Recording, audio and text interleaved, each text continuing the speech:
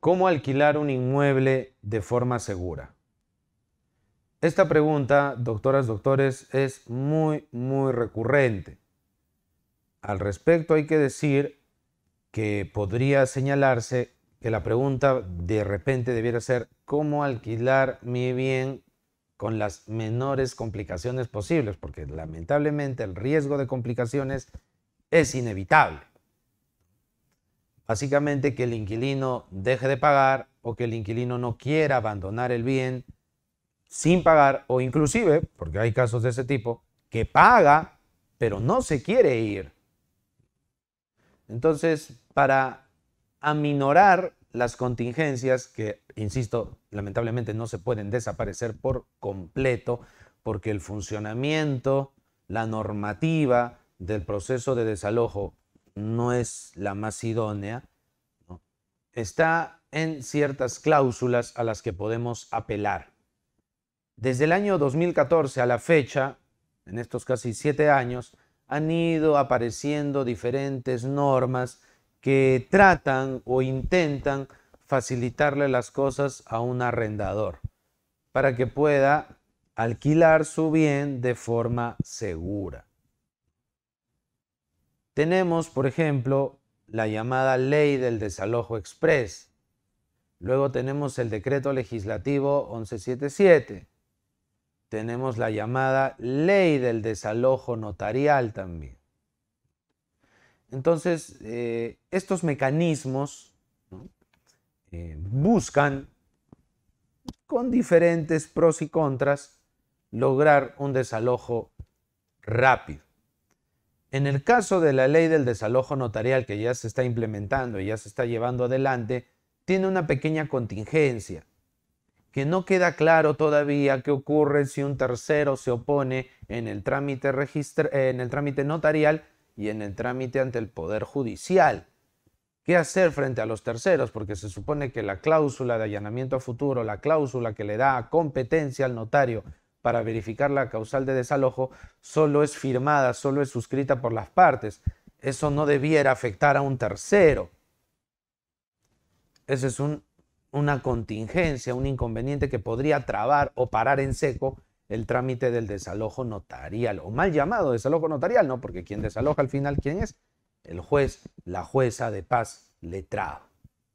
Con el decreto legislativo 1177 el problema ha sido fundamentalmente, doctoras, doctores, en que se utiliza muy poco.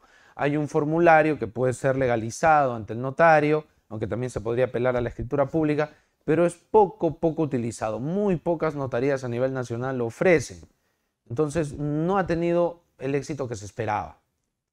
En este contexto, por ahora al menos, pareciera que la llamada ley del desalojo express que está en detalle en el nuevo artículo 594 del Código Procesal Civil, eh, regula mejor, precisa mejor ¿no? Eh, un mecanismo para un desalojo más rápido, ¿no? estableciéndose la cláusula de allanamiento a futuro y legalizando el contrato ante un notario. Siguiendo las directrices del 594 del Código Procesal Civil, podemos obtener un contrato donde eh, se pueda promover un desalojo más célere, más rápido.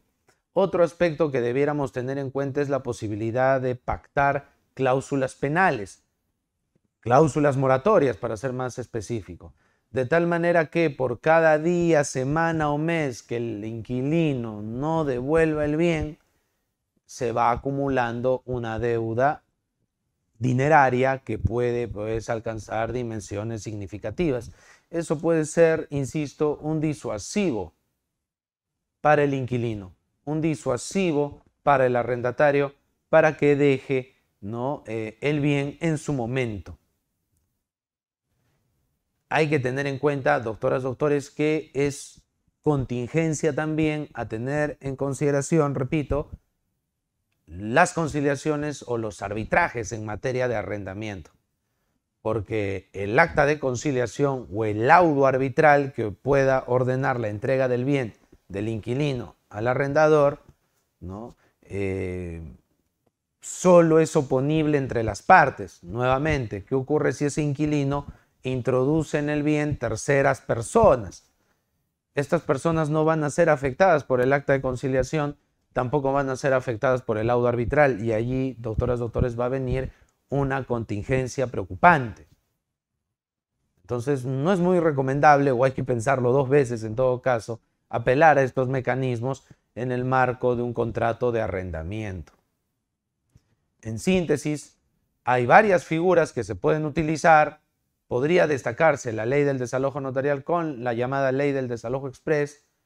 Por ahora, esperando que la jurisprudencia vaya perfilando los puntos, generando predictibilidad en relación a esta normativa del desalojo notarial, sobre todo en el problema de la intervención de terceros, podríamos pensar en la llamada ley del desalojo express, que toma en cuenta el 594 del Código Procesal Civil, y pactar nuestra cláusula de allanamiento a futuro y legalizar nuestro contrato conforme lo dice la citada norma. Y así podríamos obtener un trámite de desalojo dentro de lo que cabe, dentro del contexto judicial actual, un poco más célere, un poco más rápido. Muchas gracias por su atención.